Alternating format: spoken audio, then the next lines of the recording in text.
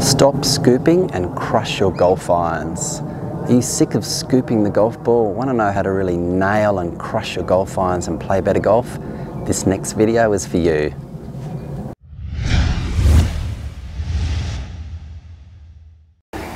Hey, it's Troy from hittingitsolid.com here. So as I said in the intro, I'm going to be talking about how to stop scooping your irons so you can crush them and play better golf. So I'm going to be talking about the reason why you're scooping. I'm going to give you a really simple drill you can practice at home so you can really start flushing those irons. And it's all about understanding the club face at impact. And this simple drill I'm going to show you is a great way to enhance your ability to get that forward shaft lean so you can de-loft your irons instead of getting into this position. I'm going to get you into this position in just a moment. Okay, let's talk about how you can stop scooping and crush those golf irons. So there's um, a number of reasons why you might be scooping and with hitting your golf irons and depending on your ability, this will probably tie in what you think you might be doing. And, and what I mean by scooping is anyone that sort of is very wristy at impact, like this with your irons, it's usually in an effort to get height with the golf ball and lift the golf ball into the air. And that's typically what most golfers do. They might leave a bit of weight on your back foot. You might be doing this.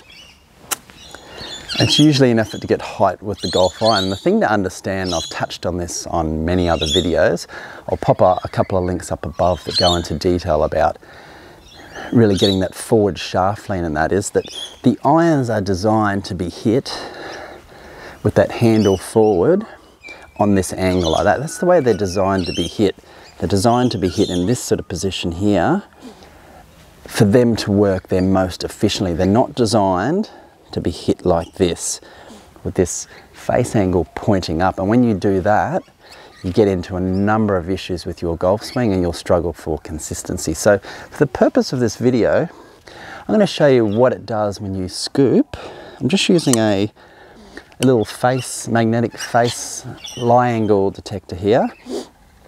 And what this is going to show you, I'll show you this from down towards the camera. This is what happens typically if I've got my face pointing towards the target down towards the camera. If you're someone that flips, you can see the effect this has on the club face. Really hooks it inside and by the same token if you get you understand about forward shaft lean you might just get way too much forward shaft lean and you can see that actually leaves the face wide open. So you need the right amount of forward shaft lean to get that face pointing right down towards our target.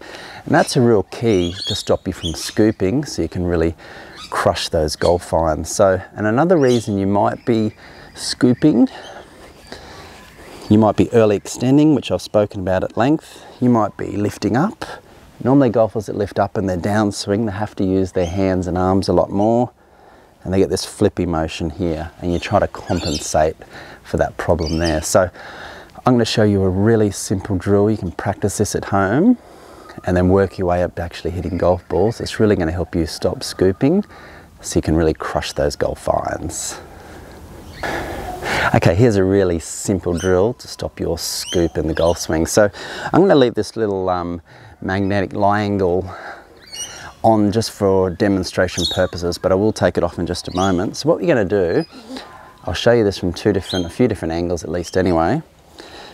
At the setup, you're going to grab a club and do this at home. This works really great. What I want you to do is turn the, the face down. Now you can see here what it does to the face angle. It makes it point way left. What we're aiming to do here to train yourself to get forward shaft lean so you can really crush these irons.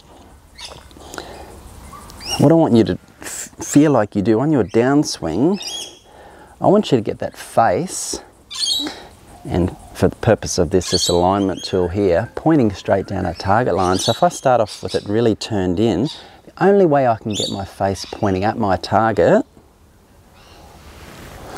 is to get forward shaft lean. It's the only way I can do it. If I flip, it's just going to get worse. It's going to really turn in behind me. The only way I can get it when I set up with a closed face is to get forward shaft lean. Have a look at it from this angle. Turn right in. The only way I can make this work is to get forward shaft lean. from down towards the camera. Set up with that face really turned in. Forward shaft lean down towards the camera. If I don't, if I don't do it, look what happens. Just turns way, way left on me. You can practice this at home. We'll get rid of this. Practice this at home without hitting any balls and just train yourself to get the forward shaft lean so that you square out the club face because you've got no choice. If you don't get forward shaft lean, that club face will just keep pointing left. Once you practice this at home for at least five minutes a day, do at least 20 reps, go to a driving range and just hit really small shots. Set up to a ball, close that club face, and just hit really short shots and really, really accentuate that forward shaft lean. You know you have to do it because if you don't do it, if you just do this little flip, that ball's just going to go way left. But if you train yourself, turn that face in to get in that forward shaft lean position, we go to club face square and you're going to hit the golf ball much, much straighter. Give that drill a try. I know that will help you out.